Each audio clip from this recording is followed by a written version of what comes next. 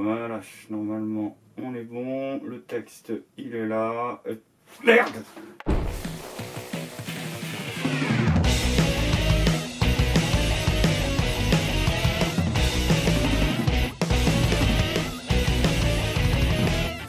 je suis pas content, il y a Sibeth qui s'est fait penser. Oui, elle s'est fait penser. Dans un instant avec Sibeth Ndiaye, la porte-parole du gouvernement. Elle répondra à toutes les questions que l'on se pose à la veille du confinement. Vous l'avez vu, elle est en train de se préparer, Sibeth Ndiaye. Bah alors, Sibeth, la loi F20, c'est pour les chiens? Décidément, cette femme nous enfume en permanence. Après, moi, ce que j'aime bien, c'est le rattrapage avec option double salto arrière de la présentatrice en mode euh, Sibeth Ndiaye était en train de se préparer. Euh, ouais, si tu veux. Enfin, c'est vrai qu'après, quand on voit le nombre de conneries qu'elle dit à la minute, effectivement, peut-être que pour se préparer, elle ne fume pas que des cigarettes normales. Après, vous connaissez la chaîne, hein, aucun jugement moral de ma part. Si Sibeth Ndiaye a envie de fumer, elle fume. Je veux dire, je suis même à deux doigts d'ailleurs de lui envoyer par Colissimo hein, des cartouches de gita de maïs sans filtre. Attendez, c'est génial. Pour une fois, on a vu Sibeth Ndiaye pendant 4 secondes à la télé, qui était pas en train d'ouvrir la bouche pour dire une connerie. Après, rassurez-vous, une fois sa pause club terminée, il n'a pas fallu attendre plus de quelques minutes avant qu'elle se mette à nouveau à exceller dans sa discipline favorite. L'OMS, au début, elle n'a pas dit confiner, elle a dit tester, tester, tester. Là encore, c'était peut-être une question de Alors, moyens là, de notre je me côté, permets d'apporter une petite correction. Je je me permets d'apporter une petite correction. L'OMS a commencé à dire qu'il fallait euh, tester euh, de manière euh, massive, quelque part de mémoire au mois d'avril. Et non, Sibeth, une fois de plus, tu mens, c'était pas en avril, c'était bel et bien le 16 mars que l'OMS a dit aux États tester, tester, tester. Ils sont arrivés à un tel degré d'impunité et de certitude de pouvoir enfumer les gens qu'ils se permettent de te dire des fausses informations qu'un simple coup d'œil à l'AFP permet pourtant de vérifier. Après, on va pas faire 10 ans sur le tabagisme de Sibeth Ndiaye, d'autant plus qu'elle doit avoir, comme d'habitude, une excuse valable. Oui, monsieur Bourdin, bien évidemment, je suis au courant, monsieur Bourdin, de l'existence de la loi E20, et j'aimerais vous dire, monsieur Bourdin, j'aimerais vous dire, je respecte le code civil, mais je ne sais pas respecter le code civil, monsieur Bourdin. C'est une chose extrêmement compliquée, qui demande des compétences techniques extrêmement pointues, que je ne possède pas. Bah oui, ma louloute, mais si t'as des problèmes avec la loi, pourquoi tu demandes pas à ta grande copine Laetitia Eh, pourra te donner des conseils juridiques, c'est une ancienne avocate, Laetitia Avia Oui, après, c'est vrai qu'elle est occupée, Laetitia Avia, en ce moment. Bah oui, elle vient de faire voter sa loi anti-Bruno le Salé. à toutes les victimes de cette haine.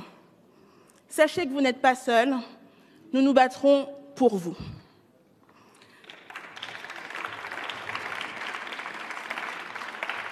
À vous, les associations, qui œuvrez sans relâche chaque jour contre cette haine, sachez que vous n'êtes plus seuls, que nous nous battrons avec vous.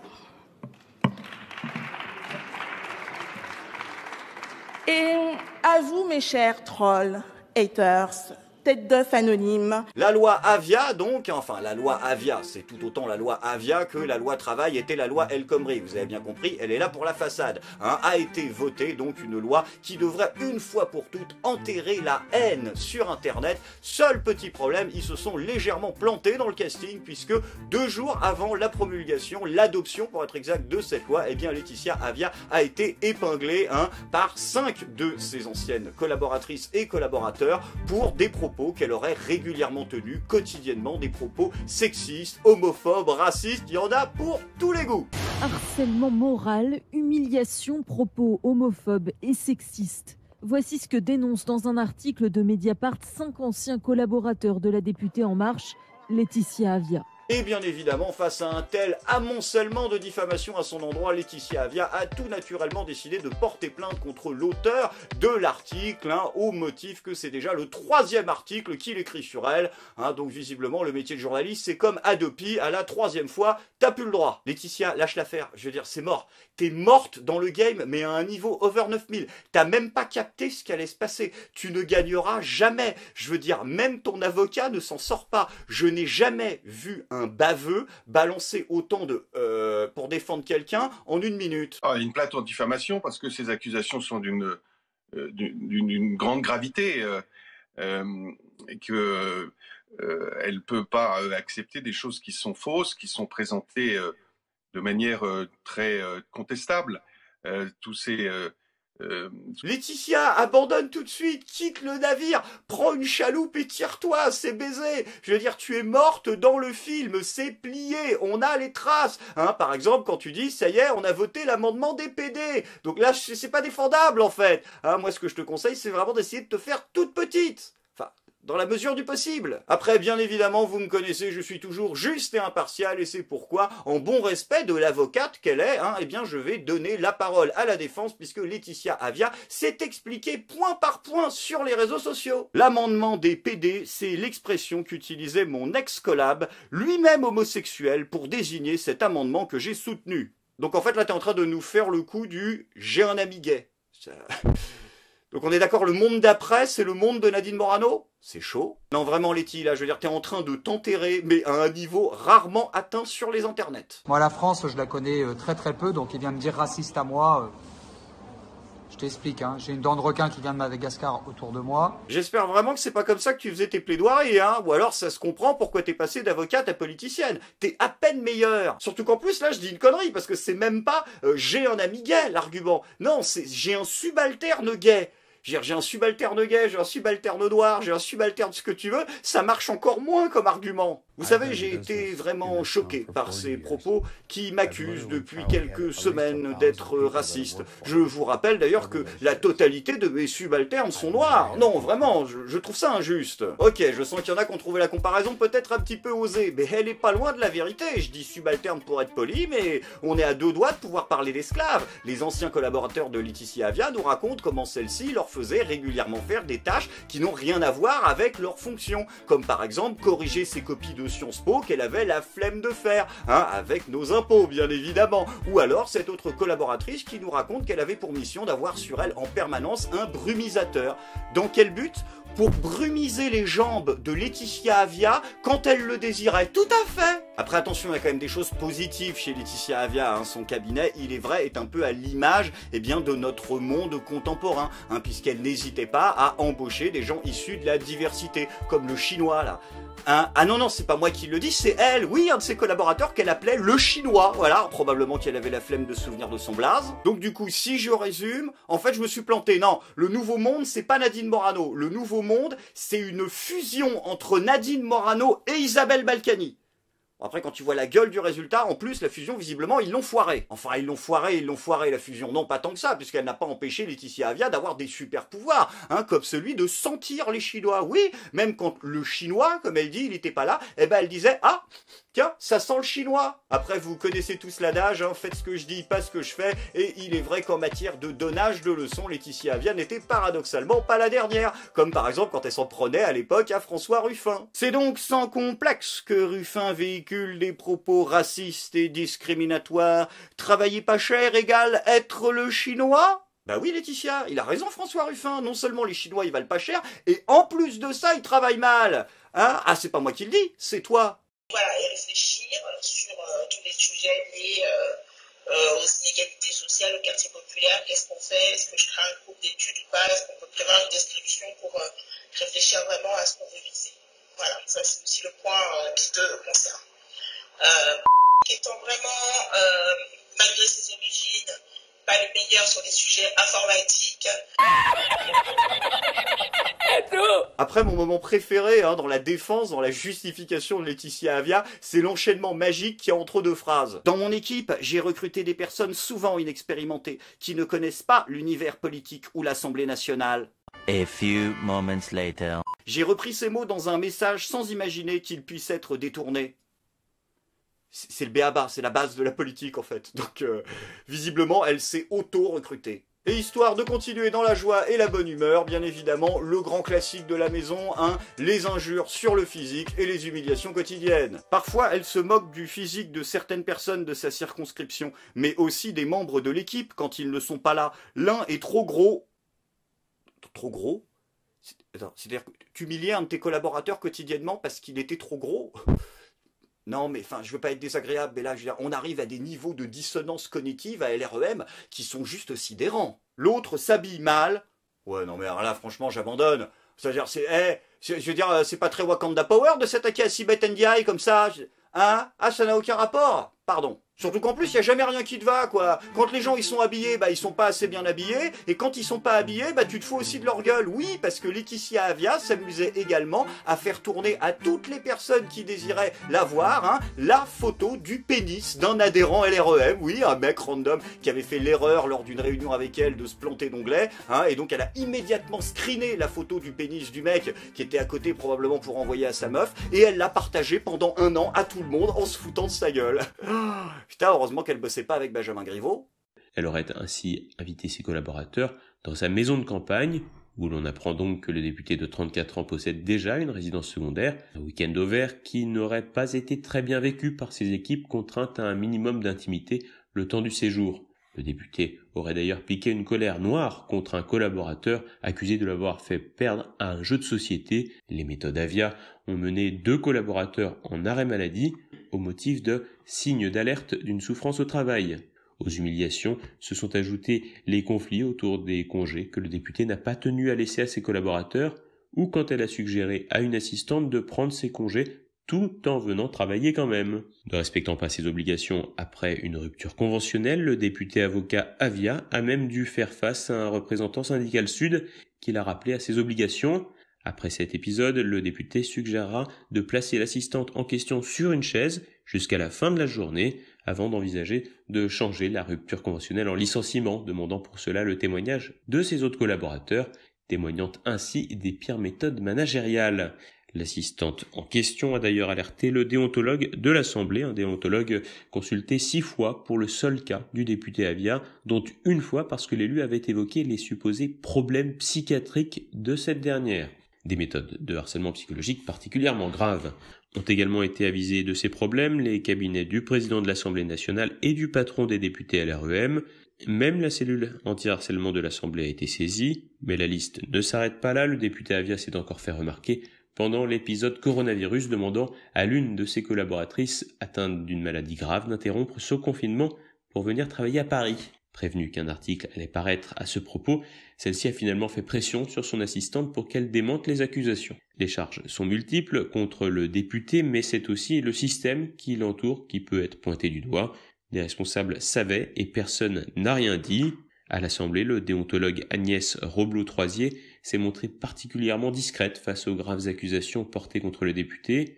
Bref, maintenant qu'on s'est attaqué à la forme, c'est le moment d'aborder le fond. Dans la deuxième partie de cette vidéo, on va laisser les blagues un petit peu de côté et on va analyser cette loi. Pourquoi est-elle faite? Quels sont les moyens qu'elle se donne pour parvenir à ses fins Et surtout, en quoi est-elle problématique? Alors, qu'est-ce que cette loi va changer? Eh bien, c'est très simple. Cette loi a pour but de modifier le régime de responsabilité des plateformes qui étaient autrefois soumises uniquement au régime des hébergeurs. L'idée, elle est simple, c'est d'obliger légalement les plateformes YouTube, Twitter, Facebook, etc., à retirer, alors dans un premier temps ils avaient dit promptement, hein, je pense que c'est encore Guillaume Pelletier qui a dû avoir cette idée, retirer promptement maintenant, bon ils sont aperçus que ça voulait pas dire grand chose, donc maintenant c'est retirer sous 24 heures un certain nombre de propos qui sont considérés comme haineux. Et si les plateformes ne le font pas, eh bien elles seront soumises à une amende qui peut aller jusqu'à 250 000 euros. Et tweet après tweet, vidéo après vidéo, ça peut finir par faire une addition assez salé. Alors du coup, bah, ce que je vous propose, c'est que l'on voit un par un bah, les différents types de propos qui sont concernés par cette loi,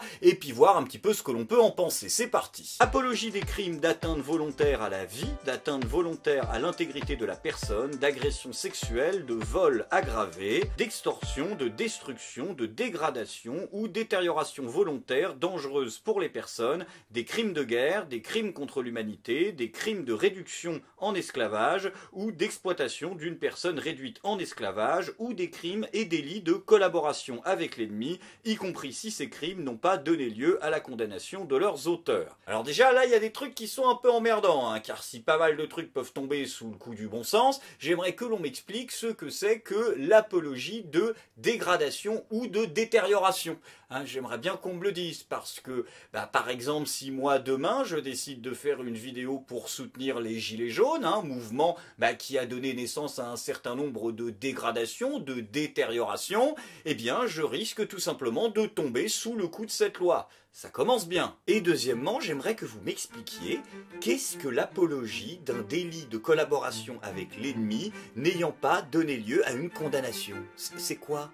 Si moi là, par exemple, je disais que l'armistice, la cessation des hostilités et la collaboration avec l'Allemagne nazie de la part de ce qui est devenu ensuite le régime de Vichy a permis à l'État français de conserver une partie de sa souveraineté nationale qui est certes devenue de plus en plus caduque, mais qui était, comme l'ont souligné tous les historiens, suffisamment existante pour qu'une partie d'entre eux considère justement le régime de Vichy comme légitime d'un point de vue politique. Est-ce que si je dis ça, sans dire ce que dit Jean-Marie Le Pen, je ne dis absolument pas que le régime de Vichy n'a pas été particulièrement, ou que la collaboration, pardon, ou l'occupation pour être exact, n'a pas été particulièrement inhumaine. Je ne dis pas ça, je ne dis pas comme Zemmour que le régime de Vichy a permis de sauver des juifs. Je ne dis pas ça. Je dis juste le régime de Vichy a permis à la France de conserver certains avantages comme le maintien d'une partie de sa souveraineté nationale et un certain nombre d'avantages comme le maintien de son armée dans ses colonies qui a, de la vie de tous les historiens, grandement facilité le débarquement français et particulièrement le débarquement de Provence. Si je dis ça, ça tombe sous le coup de la loi ou pas? Qui sait qui juge? Qui sait qui décide? Il fait quoi le magistrat? Il se replonge dans Fernand Nathan Il écoute la délibération de la DICRA. C'est absurde votre truc, la limite est absolument trop floue. Numéro 2 maintenant, la provocation à la discrimination, à la haine ou à la violence à l'égard d'une personne ou d'un groupe de personnes à raison de leur origine ou de leur appartenance ou non-appartenance à une ethnie, une nation, une race ou une religion. Ok, moi je veux bien, pas de souci. Mais alors à ce moment-là, il faut écrire noir sur blanc la réalité. À partir d'aujourd'hui, les débats et les discussions interreligieuses en France sont interdites par la loi, sur Internet en tout cas. Ah bah si, Attendez, si on reprend la définition même de la discrimination. La définition juridique, je ne fais pas l'erreur de Zemmour de reprendre la définition littéraire du discriminer c'est choisir, non, la, définition juridique, quelle est-elle? La discrimination se définit comme étant le traitement inégal et défavorable appliqué à certaines personnes en raison notamment de leur origine, de leur nom, de leur sexe, de leur apparence physique, de leur appartenance à un mouvement philosophique, syndical ou politique, et là en l'occurrence un mouvement religieux. On est en plein dedans toutes les religions, ou presque, euh, se basent sur une distinction entre celui qui appartient au culte et celui qui n'y appartient pas.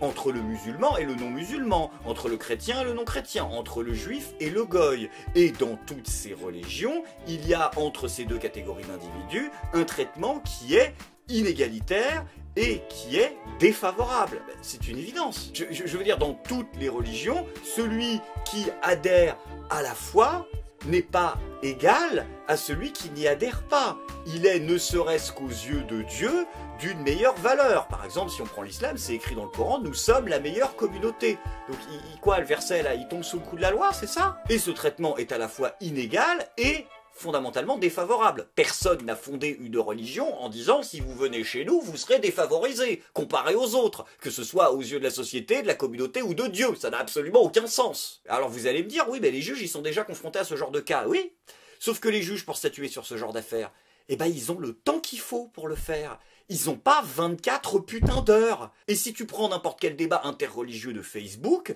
je peux te promettre, et Dieu sait si je puis dire que j'en ai fait, que plus d'un message sur deux rentre dans ces critères et doit être supprimé au nom de la loi Avia, si elle est respectée. C'est absurde votre truc. Numéro 3, contestation de l'existence des crimes contre l'humanité, négation, minoration ou banalisation des crimes de génocide, des crimes de réduction en esclavage ou des crimes de guerre. Bon, là, ça tombe à peu près sous le coup du bon sens. Harcèlement sexuel, bon là, il n'y a pas grand-chose à dire de plus. Captation, enregistrement, transmission, offre, mise à disposition, diffusion, importation ou exportation, acquisition ou détention d'images pornographiques avec mineurs. Consultation habituelle ou en contrepartie d'un paiement de services de communication au public mettant en ligne à disposition des images pornographiques de mineurs Bon, est-on obligé de parler de ça Absolument pas. Hein. ça tombe là aussi sous le coup du bon sens qu'il faut le condamner. Et dernièrement, provocation directe à des actes de terrorisme ou apologie publique de ces actes. Ok, donc là j'ai envie de te dire ça tombe sous le sens, mais il y a un mais. Euh, je rappelle qu'on vit dans un pays où le ministre de l'Intérieur a déclaré que les actions commises par les Gilets jaunes, notamment le fait de taguer une permanence LREM, devaient être considérées comme un acte terroriste. Propos qui ont été totalement assumés. Donc encore une fois, qu'est-ce que vous appelez terrorisme?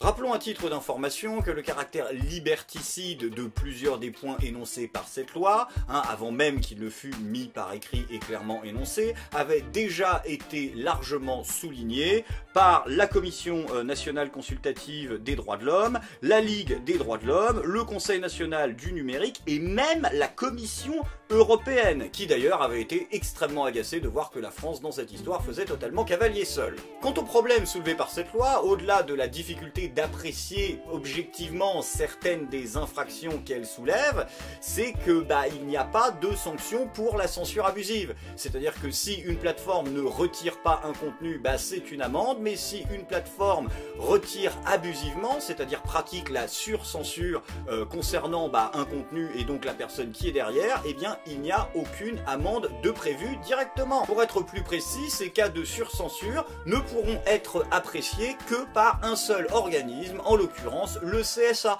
C'est-à-dire qu'il vous faudra faire une démarche légale officielle auprès du CSA. Putain Et d'ailleurs, l'intermédiaire en question pourra totalement échapper à une condamnation éventuelle hein, si il prouve purement et simplement, je cite la loi, qu'il a mis en place les moyens technologiques ou humains nécessaires pour nettoyer son service. Ça veut dire quoi? Ça veut dire que si YouTube dit ouais mais on a des bots, on va c'est bon alors. Mais là où cette loi est absolument hallucinante, là où cette loi atteint des sommets de n'importe quoi sur 20, c'est, tenez-vous bien, que cette loi légalise le outing d'État. Oui, vous avez bien compris. Le outing, c'est quoi? Pour ceux qui ne savent pas, c'est le fait de révéler l'orientation sexuelle d'une personne sans son consentement à bah, d'autres personnes. Et comment tout ça est possible? Eh bien, je vais vous l'expliquer. Tout simplement parce que cette loi hein, a pensé à pas mal de choses, notamment qu'est-ce qu'on fait avec les mineurs? Alors, on va prendre un exemple hein, fictif, admettons, par exemple, Timothée, 15 ans, vient de se découvrir une attirance pour les hommes. Il ne sait pas trop où aller dans sa vie, ça lui soulève beaucoup de questions, il n'est pas encore à l'aise avec ça, et n'en a pas parlé à ses proches. Timothée, un jour, a décidé d'embrasser sur la bouche un autre garçon. Malheureusement, à ce moment-là, il a été pris en photo par un de ses camarades de classe qui, dans un geste de malveillance excédant la fils de puterie, a décidé de poster la photo de Timothée sur les réseaux sociaux accompagné d'un message disant par exemple « Sale PD, euh, on t'a vu avec un mec ». Voilà. Timothée est assez blessé, il est victime d'une campagne de harcèlement hein, et décide donc de se défendre. Sauf qu'il a 15 ans, il sait pas trop comment s'y prendre, comment va-t-il faire? Eh bien c'est là que les socialistes ont pensé à tout, comme quoi ils n'ont pas toujours que des mauvaises idées, en proposant tout simplement que Timothée ait recours à ce que l'on appelle un tiers de confiance. Un tiers de confiance c'est quoi? C'est une association qui doit avoir deux critères. Un, elle doit être spécialisée dans la gestion de ce genre de problème, et deux, elle doit avoir une existence euh, effective depuis au moins 5 ans. Donc ça permet effectivement, c'est pas une mauvaise idée à des gamins qui peuvent pas, n'ont pas envie d'entamer une telle procédure, de se défendre, de signaler le tweet, et eh bien de demander à une association hein, de signaler le message à leur place et de faire effectuer un retrait euh, de, du message en question. Sauf que c'est tellement absurde que j'en rigole. La République en marche a rajouté à cette bonne idée socialiste, une fois n'est pas coutume, pourquoi ne pas chier sur l'idée, euh, un amendement pur et simple qui fait que l'association en question est dans l'obligation légale de signaler aux parents de Timothée que euh, son enfant a été victime de harcèlement ou de propos incitant à la haine et a le devoir légal de transmettre eh une copie des messages en question aux parents. Vous avez compris le problème? C'est que le petit Timothée, eh bien, si il a envie de se défendre de propos homophobes sur Internet, ses parents seront automatiquement avertis de son homosexualité, alors qu'il n'était peut-être pas prêt à leur dire, qu'il se sentait pas à l'aise avec ça, ou qu'il vit dans une famille où peut-être ça peut avoir des répercussions sur lui. Vous vous rendez compte de ce que vous avez fait? Vous vous rendez compte à quel point vous êtes mauvais? Vous vous rendez compte que Marlène Schiappa n'en parlera probablement pas? Et le pire, c'est que l'on est au-delà de l'incompétence, car le Sénat avait vu la coquille dans le texte et vous l'avez signalé. Mais au lieu de la retirer, eh bien la mère Avia a préféré perdre son temps à s'étendre sur les réseaux sociaux pour hurler que c'était un scandale, que c'était de la diffamation des associations LGBTQI+, et de sa propre personne qui tous les jours se battait pour défendre les mineurs victimes d'oppression. Mais putain, c'est pas possible d'être incapable de se remettre en cause à ce point-là. Alors entre-temps, le Sénat a réussi à faire amender le texte et les associations pourront ne pas prévenir les représentants légaux si cela n'est pas conforme à l'intérêt supérieur de l'enfant. Mais ça veut dire quoi l'intérêt supérieur de l'enfant? C'est extrêmement difficile à juger et à estimer en droit. Il y a toujours un risque d'erreur et il y aura des erreurs. Il y aura des cas où la personne qui traite le dossier va mal estimer la situation, peut-être parce que l'enfant lui aura pas donné toutes les informations. Et vous auriez dû prendre les devants en faisant en sorte que dans certains cas, notamment les attaques dues à l'orientation sexuelle de la personne, eh bien les parents ne soient pas prévenus du caractère homophobe des attaques. Et encore une fois, même si le Sénat a réussi à limiter la casse tant qu'ils ont pu, ils ont dû s'y prendre en trois fois. Ils vous ont d'abord prévenu, vous n'avez pas écouté, ils ont ensuite proposé un amendement et vous l'avez rejeté. Et ils ont dû enfin attendre, insister. Il a fallu que des journalistes s'en mêlent pour que vous acceptiez de mettre votre ego de côté et que vous acceptiez un petit amendement dans votre loi si parfaite. Amendements qui, encore une fois, ne font que limiter la casse et n'empêcheront pas des erreurs, tout simplement parce que un enfant ne connaît pas le droit, un mineur, en règle générale, ne connaît pas le droit, et ça ne lui viendra peut-être pas à l'idée de prévenir l'association qu'il ne faut pas prévenir ses parents, tout simplement parce qu'il ne sait pas que l'association va devoir légalement prévenir ses parents dans la quasi-totalité des cas. Vous êtes incroyable. Et je parlerai même pas des gens pour qui cette loi ne va pas encore assez loin. Oui, à l'image de Monsieur Le Fur, hein, l'arménien, je l'appelle, parce que nous, les Arméniens, en règle générale, pour percer dans la politique ou pour percer dans le showbiz, on retire le yan à la fin de leur nom. Bon, moi, je l'ai pas fait, mais il y a des gens qui le font. Par exemple, Baladur, c'est Baladurian en vrai son nom. Donc, Monsieur Le Fur, il a fait un peu pareil, c'est qu'il a viré le heure à la fin de son nom, donc ça fait Le Fur, tout court. Et ben, Monsieur Le Fur, il trouve que la loi ne va pas assez loin et qu'il faudrait inclure les véganes dedans.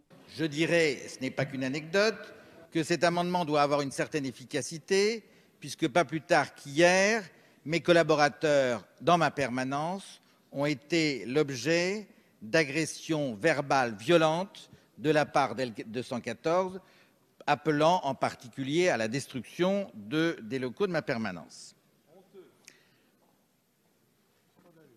Les liens sont objectivement étroits entre ces associations et les gens en numérique. J'en veux pour preuve deux choses.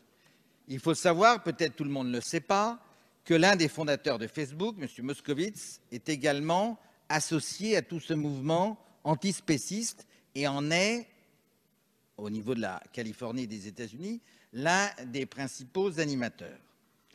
Il faut également savoir que derrière un certain nombre de géants du numérique, et en particulier derrière Facebook, il y a un certain nombre de structures financières qui se préparent à organiser une alimentation non carnée, une alimentation végétale. Il faut pour cela, Madame la Présidente, faire disparaître et mettre en cause et montrer du doigt un certain nombre d'activités. D'accord. Donc là, le mec est en train de nous expliquer que les véganes sont dangereux parce qu'ils sont soutenus en douce par Facebook et aidés financièrement par des organisations occultes et que ça peut déstabiliser la France.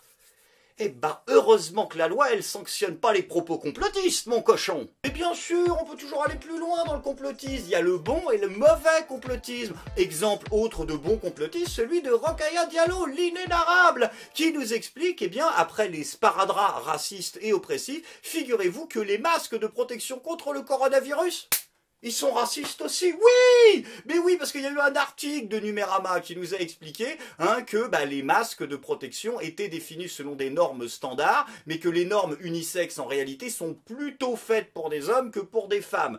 En fait, pas du tout. Hein. C'est juste qu'elles sont plutôt faites pour des visages euh, normaux, enfin entre guillemets de morphologie classique, plus que des visages fins. Votre serviteur qui a un visage fin, à chaque fois qu'il porte son masque, ça déborde. Mais je suis victime d'une oppression sexiste en tant que mâle hétérosexuel blanc de genre masculin. C'est pas grave. Et Rokaya, en plus de ça, elle te retweet l'article en te rajoutant que les masques sont faits pour des hommes européens et américains. sous-entendu blanc. Elle est obligée de rajouter son histoire de racisme dedans. Mais t'es complètement parano, ma pauvre fille. En plus, les masques, ils sont faits par des Chinois pour les trois quarts d'entre eux. Alors, je dis pas qu'il n'y a pas des gens qui ont un problème, hein, et qui sont obligés, les gens qui ont une morphologie assez fine, eh bien, d'attacher le masque derrière. Tu fais un double nœud, c'est pas pratique, hein, mais bon, qu'est-ce qu'on va faire? On va pas porter les masques, hein, pour protester contre cette discrimination systémique? Mais putain, mais ça veut rien dire, bordel. Après, je vais pas m'acharner, parce qu'encore sur les réseaux sociaux, ils vont dire que je fais du misogynoir. Mais hein, le misogynoir, vous connaissez pas? Ben voilà. Mais voilà, les réactionnaires qui suivent pas l'actualité du programme, et vous êtes insupportable avec ça à la fin. Le misogynoir, oui. Alors vous avez adoré hein, le blanc triarcat de Rocaille Diallo, justement, vous adorez le misogynoir. J'ai été accusé récemment de misogynoir sur Twitter. Pourquoi? Parce que je m'en prends à Sibeth Ndiaye pour son incompétence. Traduction, je fais du misogynoir. Le misogynoir, donc comme vous l'aurez compris, enfin la misogynoire mais sans E, il n'y a même pas de point inclusif, dis donc comme c'est oppressif, eh bien c'est le fait de s'attaquer à une femme noire. Voilà donc euh, c'est c'est hallucinant en fait. Vous allez aller jusqu'où là? Toute l'équipe des Blokémon à bloquer les trois quarts de Twitter, à les accuser de tout et n'importe quoi. Est-ce que vous vous rendez compte, les Laetitia Avia, les Rocaille Diallo, est-ce que vous vous rendez compte, tous les censeurs et les bien-pensants d'Internet, que vous ne ferez pas d'Internet un safe space? Ça ne marchera jamais. La seule chose que vous faites, les Blokémon, c'est que vous nous cassez les couilles à faire des listes et à exclure les gens et à balancer des trucs dans leur dos qui font que moi, par exemple, j'arrive pas à travailler. Ah, ça devient de plus en plus compliqué. Quand je vois la taille de mon Blokédex, parce que j'ai quand même les trois quarts de l'équipe au complet, moi, hein, j'ai tous les rares, là, je, collectionne pas mal. Ça devient vraiment dur de taffer. À toutes les victimes de cette haine, sachez que vous n'êtes pas seuls, nous nous battrons pour vous.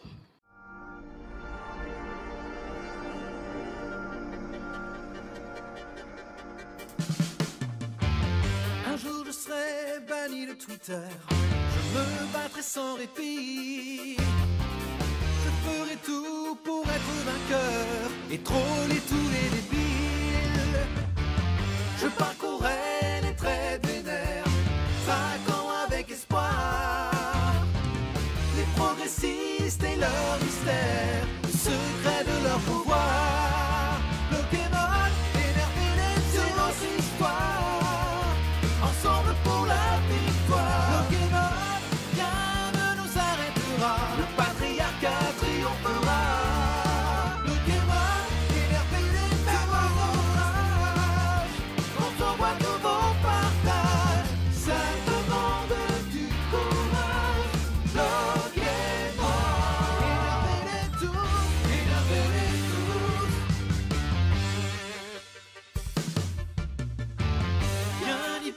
sur mon chemin. Pourra me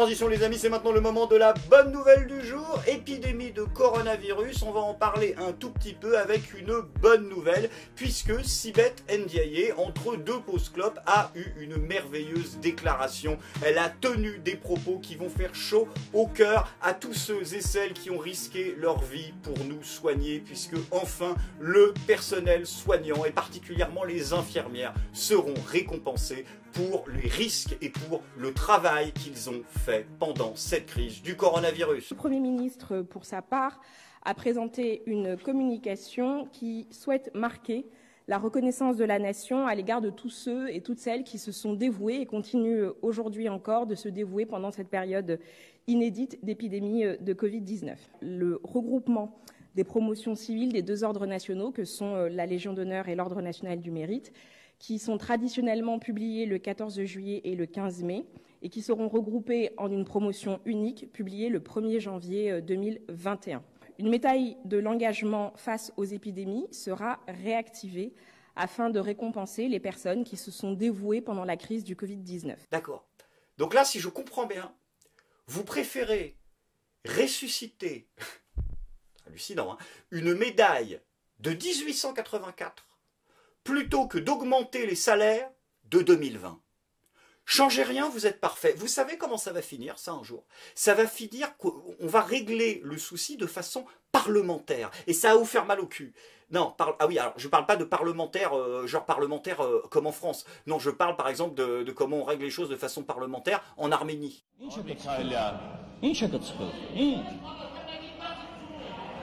Et...